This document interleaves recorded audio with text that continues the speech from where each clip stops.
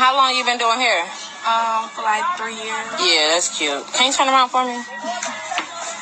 Yeah.